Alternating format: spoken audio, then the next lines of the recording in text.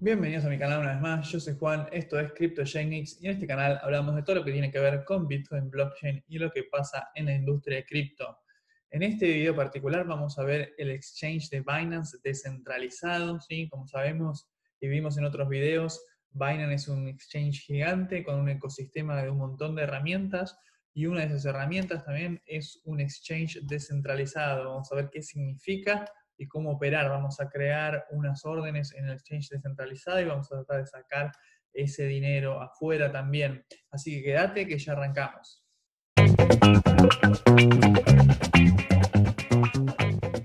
Bueno, lo primero que vamos a necesitar para empezar a operar con el exchange de Binance descentralizado es una wallet, ¿sí? ¿Por qué? Porque a diferencia del exchange centralizado, en donde nosotros tenemos una cuenta, creamos un usuario, una contraseña, y en un servidor se guardan nuestras llaves privadas, en el exchange descentralizado directamente nosotros manejamos las llaves privadas. Entonces necesitamos una wallet para poder hacer eso. Hay diferentes opciones.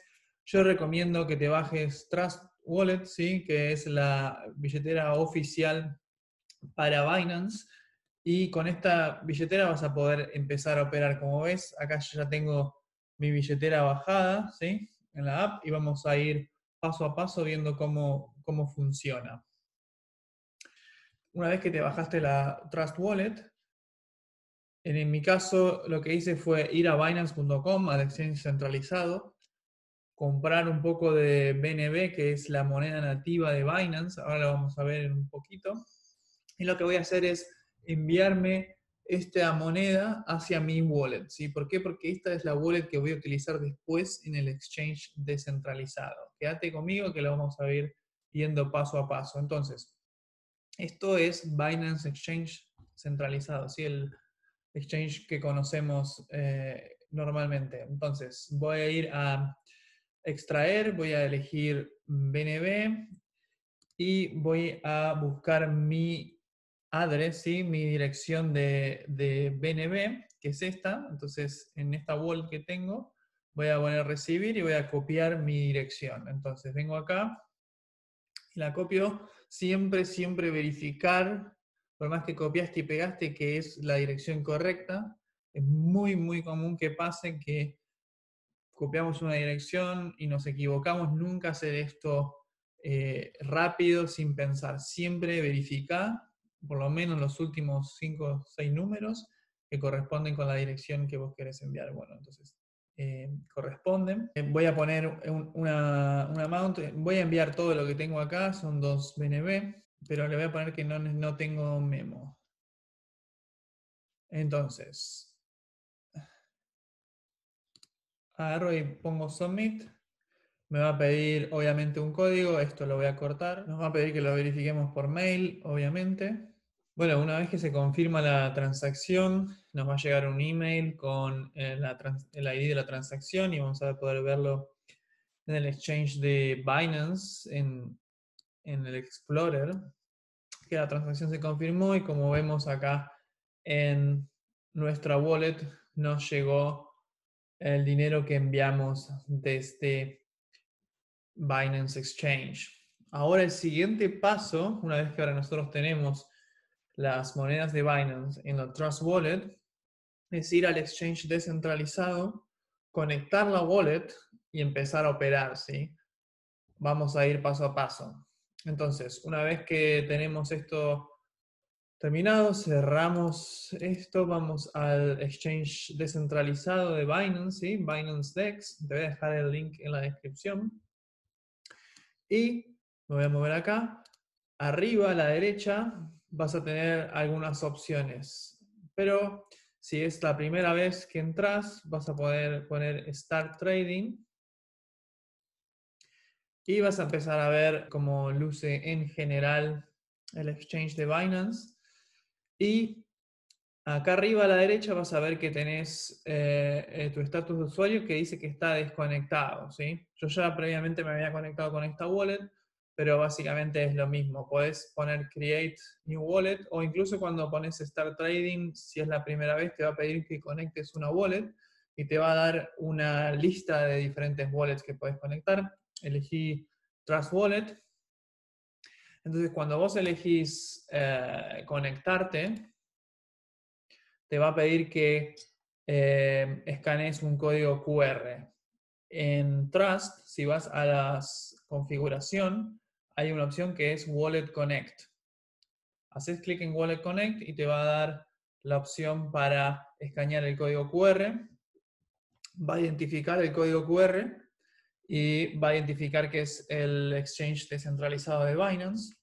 Entonces vos le das conectar y cuando le das conectar vas a ver que eh, tu estatus ahora es que tenés la, wallet conectada, si tus llaves privadas siguen estando en la wallet, pero ahora vas a poder eh, crear operaciones, firmar digitalmente una transacción en la blockchain de Binance.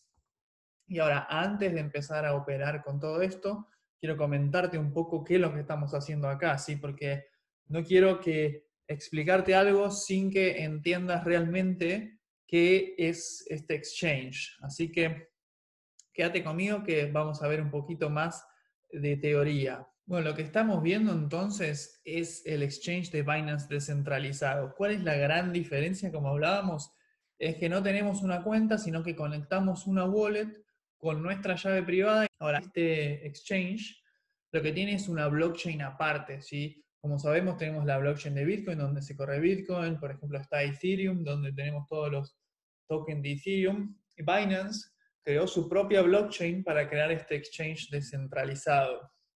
Esta blockchain específica, uno puede, si quiere, puede correr los nodos de Binance.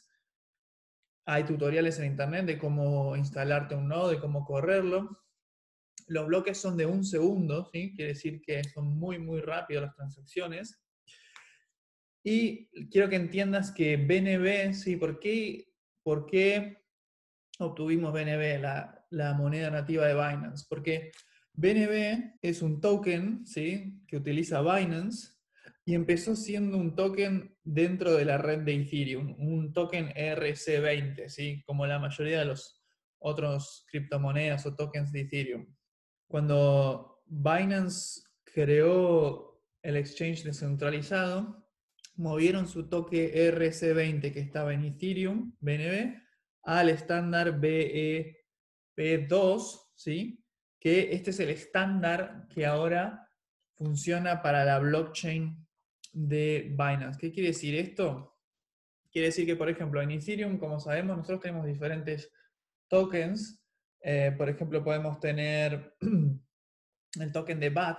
BAT es un token RC20 que corre en la red de Ethereum y cuando vos querés enviar dinero, por ejemplo, de una dirección a otra, tenés que pagar un fee en Ethereum. Tenés que pagar una comisión para los mineros. Esa comisión se paga en ETH, ¿sí? Y ETH es, Ethereum, es la moneda nativa de la blockchain de Ethereum. La moneda nativa de la blockchain de Binance es BNB, ¿sí?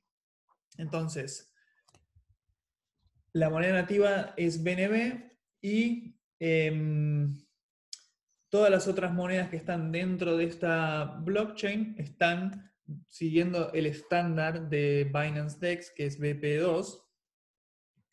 Entonces, cuando vos en realidad compras, eh, no sé, Ripple, no estás comprando exactamente Ripple, sino que estás comprando una moneda que está basada en, en el estándar BP2 que representa a Ripple en esta blockchain y Binance te asegura que es Ripple. ¿Por qué? Porque después cuando vos querés extraer, querés tener el Ripple verdadero, vas a binance.com y lo vas a obtener directamente, automáticamente, sin tener que hacer nada. Vamos a ver esto paso por paso, no te preocupes porque vamos a hacer todo el proceso para que tengas una mejor idea. Entonces, de nuevo, estamos conectados acá con la wallet en el exchange descentralizado. Lo que vamos a hacer ahora es hacer una operación.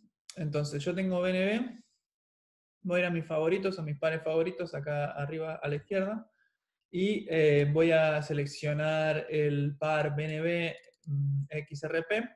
Y como ves, acá es lo que te comentaba. ¿sí? Acá dice Ripple para comprar con Binance Coin, pero como ves, acá dice XRP BP2. Esto es lo que te estaba comentando, que es el estándar de eh, Ripple dentro de la, blockchain de Binance, y no es exactamente Ripple. ¿Por qué? Porque Ripple tiene su propia blockchain. Entonces, lo que vamos a hacer es vamos a comprar un poco de esto, ¿sí? Entonces venimos acá, vamos a crear una limit order, ¿sí? Probablemente eh, el 50% de lo que tengo, entonces voy a comprar 84 de Ripple. Pongo buy, si voy a comprar, me va a pedir que confirme la transacción dentro de la wallet, me va a pedir que firme con mi llave privada que está dentro de la wallet.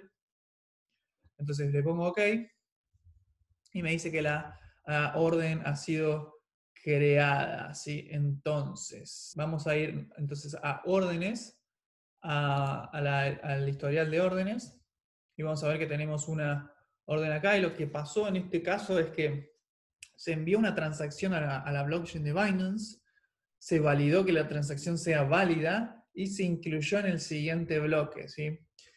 Entonces, esta es mi transacción que está 100% completada ya. Y quiero mostrarte una cosa más que es el explorer de esta blockchain y acá puedes ver todos los bloques y todas las transacciones que existen. Y todas estas transacciones en realidad son, ¿ves? Son eh, cancel order o una orden, una transferencia, son, la mayoría son eh, órdenes dentro del exchange.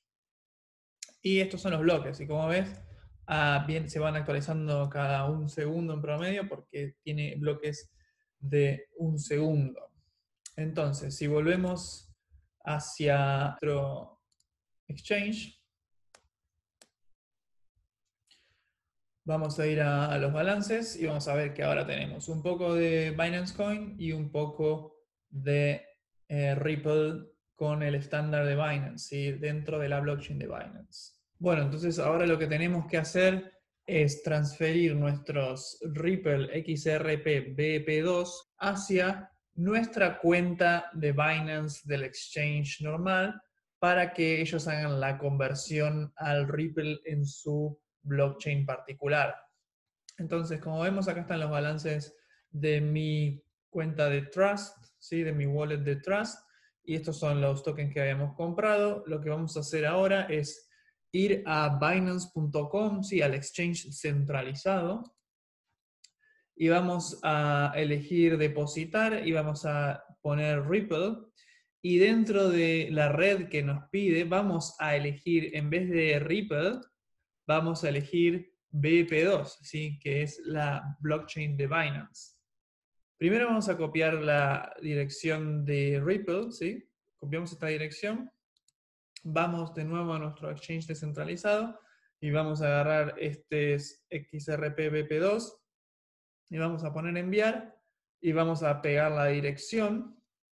Vamos a decir que queremos enviar todo y vamos a volver acá y vamos a copiar el memo. El memo es súper importante, ¿sí? Acá nos, nos avisa que es importante para poder realizar la transacción correctamente. Entonces copiamos el memo y lo pegamos acá donde nos pide el memo para enviarnos. Entonces lo que estamos haciendo acá es, estamos agarrando el Ripple que estaba en la blockchain de Binance, que representa el Ripple normal, y lo estamos enviando de nuevo a nuestra cuenta de Binance y ellos van a hacer la conversión. Entonces le damos Next, damos la, enviamos la transacción, nos van a pedir obviamente de nuevo que firmemos la transacción con nuestra llave privada en la wallet, le doy OK, y eh, la transacción se fue enviada. Entonces, una vez que fue enviada la transacción, vamos a nuestra Transaction History y vamos a ver nuestras tres transacciones. Y la primera que fue que eh, enviamos Binance Coin, es una transacción IN. Después la transacción que, en la que compramos el Ripple eh, que estaba en Binance Chain. Y la transacción out, que es la transacción en donde nosotros sacamos ese Ripple y lo mandamos hacia el exchange de Binance. Entonces, ahora vamos a ir al exchange de Binance, binance.com, para ver si llegaron nuestros Ripple y vamos a ir a nuestro historial de depósitos y vamos a ver que acá tenemos una nueva transacción de Ripple con, con la cantidad que enviamos. Entonces, en nuestro balance, si buscamos Ripple, vamos a encontrar que ya tenemos el Ripple real. ¿sí? Este es el XRP que está en la blockchain de Ripple y con este RP podemos transaccionar con los pares que existen en cualquier exchange o lo podemos mandar directamente a nuestra wallet de Ripple, a nuestra Nano Ledger y de esta forma hicimos unas transacciones dentro de la blockchain de Binance. Entonces vamos a repasar si primero necesitas la Trust Wallet configurada. Después necesitamos tener la moneda de Binance dentro del Binance Exchange centralizado. Después enviamos esa moneda Binance Exchange hacia nuestra Trust Wallet, ¿sí? a nuestra dirección de Binance Coin de Trust Wallet. Después la podemos conectar con el exchange descentralizado para firmar transacciones y podemos operar. ¿sí? Tener en cuenta que eh, el estándar de la blockchain de Binance es BP2, ¿sí? Entonces, si compras, por ejemplo, monedas que tienen su propia blockchain, como Bitcoin, Ripple o incluso Ethereum, no estás comprando exactamente el token en su propia blockchain nativa, sino que estás comprando una representación de ese token dentro de la blockchain de Binance, pero que cuando vos lo sacás de la blockchain y lo envías a Binance.com, al exchange centralizado, automáticamente se convierte, Binance te asegura 100% que siempre que compres un ETH o un Ripple en su blockchain descentralizada, cuando lo transfieras vas a obtener un token nativo de la blockchain en la cual pertenecen. Sí, entonces esto tenerlo bien en claro cuando operas dentro de la blockchain descentralizada es esto, ¿sí? Que no estás exactamente operando, siempre estás operando sobre una blockchain particular, ¿sí? No estás operando sobre varias, no estás diciendo, ay, bueno, voy a comprar Bitcoin en la blockchain de Bitcoin y después voy y compro Ethereum en la blockchain de Ethereum y después hago trading por Ripple en la blockchain de Ripple. No, es todo dentro de eh, la blockchain de Binance que esos tokens representan tokens dentro de sus blockchains nativas y Binance te asegura que siempre va a ser así y se convierte uno a uno eh, sin ningún tipo de proceso, ya lo viste. Una vez que lo enviaste ah, desde desde DEX, desde el exchange descentralizado hacia tu wallet de Binance. Funciona bastante bien. Así que esto fue cómo operar dentro del exchange descentralizado de Binance. Comentame qué te pareció el video, si te gustó. Comentame qué utilizas, si utilizas Binance Exchange descentralizado o Binance.com. Y nos vemos en la próxima.